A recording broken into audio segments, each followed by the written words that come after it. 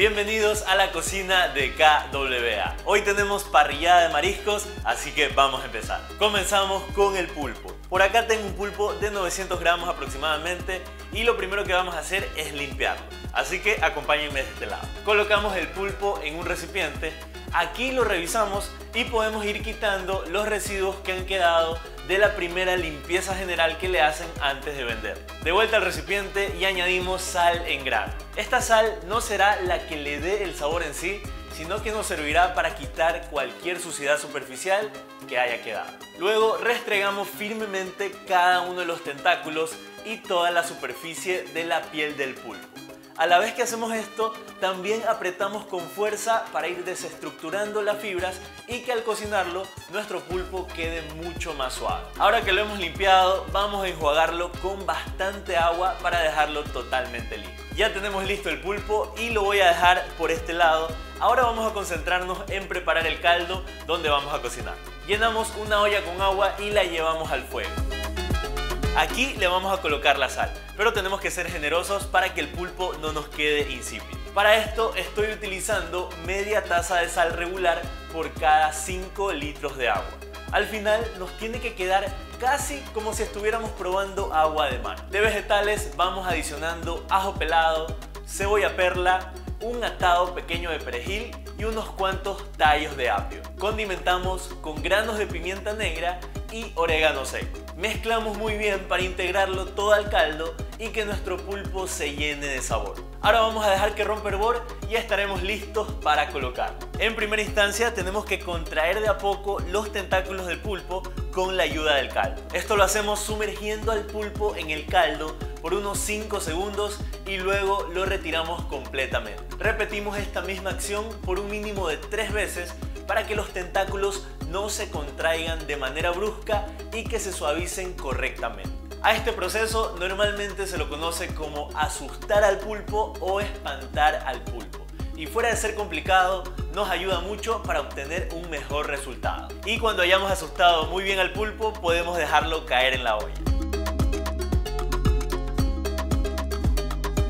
Aún estamos trabajando a fuego alto y lo hacemos para que el pulpo tome algo de temperatura. Pero apenas rompe hervor nuevamente, bajamos el fuego. Buscamos que se cocine a fuego bajo y constante para conseguir que se suavice. Tapamos pero asegurándonos de que el vapor pueda salir por algún lado. Le vamos a dar entre 30 y 40 minutos para que se cocine, pero en el transcurso de este tiempo vamos a ir chequeándolo y revisando cómo va de textura.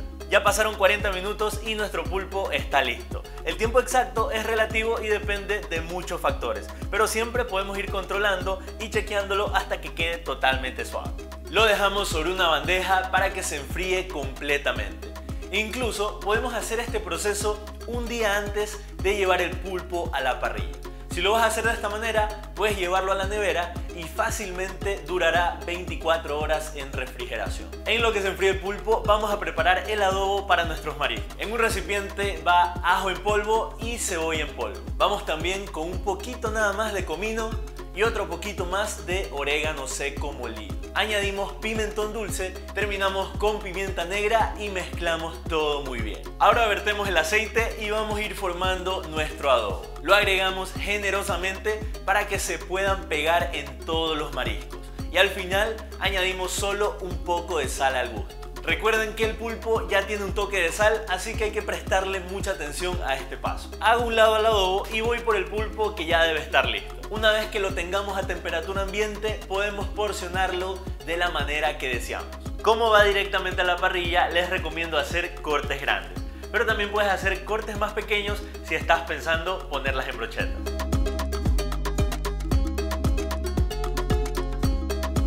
Tenemos listos los tentáculos y de una vez coloco el adobo que preparamos hace un rato. Mezclamos y nos aseguramos de que se cubran por completo. Lo mismo voy a hacer con los camarones que tengo por acá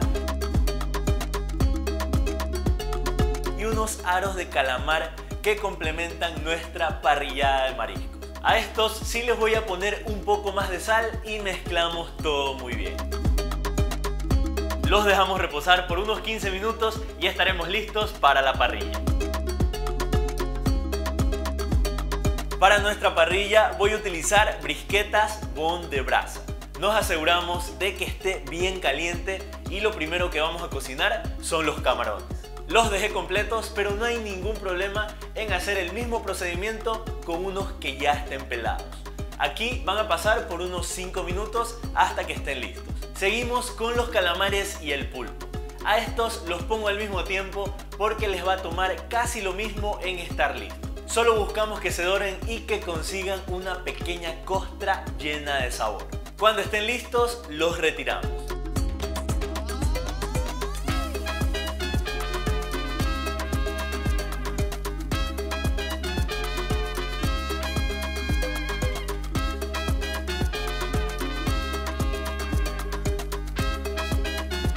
Ya tenemos todo listo y ahora sí, momento de servir. Hice unos patacones grandes, coloco también una salsa criolla, algo de cebolla, tomate y limón. Por último, nuestros mariscos acompañados de limón. Y solo mira esa preciosura. Y ahora sí, momento de probar.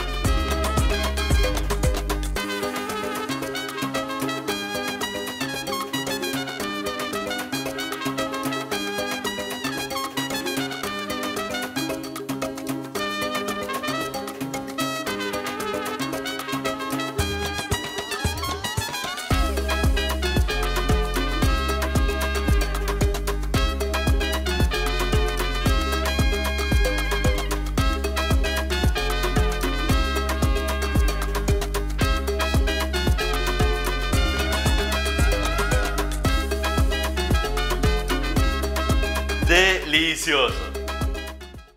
Espero que hayan disfrutado esta receta. Anímense a hacer esta parrillada de mariscos que está espectacular. Tienes todos los ingredientes acá abajo en la descripción. No te olvides suscribirte a nuestro canal y darle a la campanita. Y recuerda que en KWA siempre estamos listos para servir.